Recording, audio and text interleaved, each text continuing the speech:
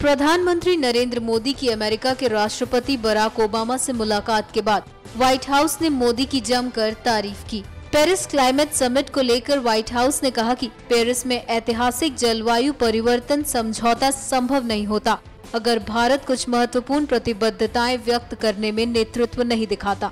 White House के press सचिव Josh Earnest ने मीडिया से कहा कि हमने कई बार कहा है कि इस प्रक्रिया में भारत की भूमिका महत्वपूर्ण थी। और अगर भारतीय तेज कदम नहीं उठाते और कुछ महत्वपूर्ण प्रतिबद्धताओं में नेतृत्व नहीं दर्शाते तो पिछले साल दिसंबर में पेरिस में हुए समझौते पर हम शायद वास्तव में नहीं पहुँच पाते। उन्होंने ओबामा और मोदी की मुलाकात पर पूछे गए सवालों का जवाब देते हुए ये बात कही।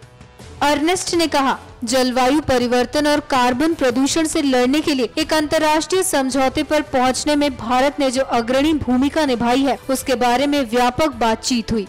प्रधानमंत्री मोदी की तारीफ़ करते हुए जॉर्ज अर्नेस्ट ने कहा कि पिछले साल पेरिस में मोदी की जो भूमिका थी, उससे ये पता चलता है कि वो न सिर्फ़ अपने देश के लिए, बल्कि पूरी धरती के लिए सही सोचते हैं। एनएमएफ न्यूज़ की रिपोर्ट।